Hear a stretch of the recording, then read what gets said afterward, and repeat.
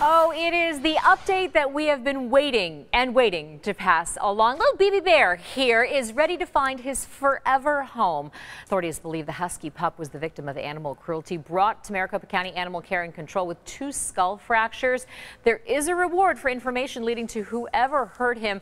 But like we said, little BB is all healed up and ready for adoption. We've posted the link on how you can apply on the homepage of abc15.com. Making headlines across Arizona, congratulations